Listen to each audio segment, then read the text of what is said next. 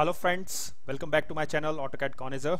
I'm your host, your coach Ranjan Sharma and today I'm uh, going to take up a very different topic, a problem which most of you guys must face, face is that how to actually introduce the def point layer in your drawing, in an AutoCAD drawing.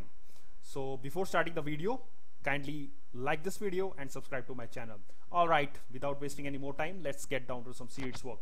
Uh, Alright friends, as you see in this drawing, uh, this is a regular AutoCAD drawing. Here I have introduced any of the objects, just a car and a truck. But in this, uh, this I'm using the AutoCAD 2013 version, but still uh, I'm uh, not able to see the def point layer. So if I go to the layers property manager, I'm not able to see the def point layer.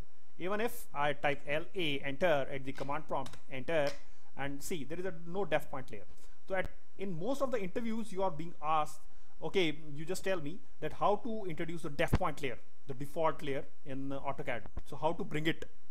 So my dear friends and students there is a very simple very very simple method how to introduce the def point layer is you just need to type DLI that is dimension linear. When you type DLI DLI at the command prompt enter and you click first point and last point any any random dimension click here and you just place it above so it is 172.36 you will see that when you click layers property it will introduce a def point layer.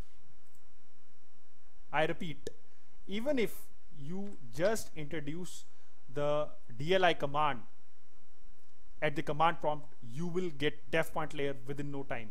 See it again go to annotation click the contextual tab and here you have any dimension you can just click it the linear dimension you just click it here first point last point and you will say maybe any random dimension the moment you say you will get the def point layer in your drawing. So students make sense. I hope you must have you know uh, encountered this problem but the, I am preparing this video only for those students who are you know seeking a new job for AutoCAD draftsman or something like that. So now you have the answers. So make sense thanks for watching this video and uh, like this video. Happy drafting. Goodbye